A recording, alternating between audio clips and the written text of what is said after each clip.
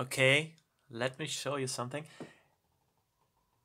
There we have a saw wave plus a triangle wave mixed in about halfway. Then I have a macro control controlling the pitch of both oscillators. No filter.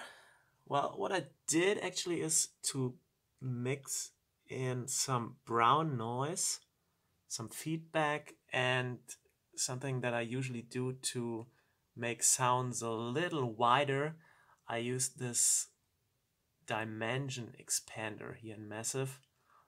Um, small size and not too much um, of the effect.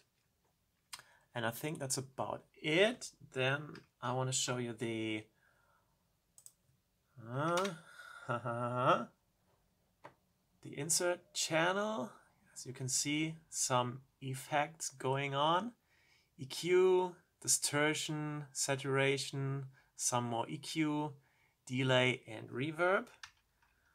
Then there's this automation curve. First one is the pitch. So let me tell you what I'm doing. I'm trying to bring the sound from 50 hertz to 420, then down a little bit up to 400, 420 again, and at the end back to uh, 10 hertz. And don't get confused, this is just reversed as you see it here. And there's also um, a volume automation going on. And now, what do you think? What does that all combined, what does it sound like? Let me show you.